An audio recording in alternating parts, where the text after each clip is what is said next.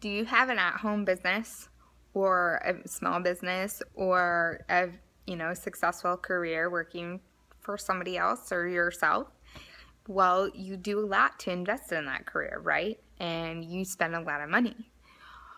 And you do it for your family, for your future.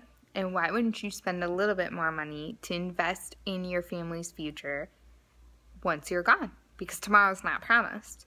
Hate to say it, hate to bring the bad news, but tomorrow's not promised. So take some time to think about investing in your family's future, and a will can help you do that. medical power of attorney can help you do that. A financial power of attorney can help you do that. And plus, you're investing in yourself because you're creating a plan that's your plan. So think about that. I want you to spend some time, mull that over. Do you want to have a plan that's your plan, or do you want somebody to tell your family what the plan is?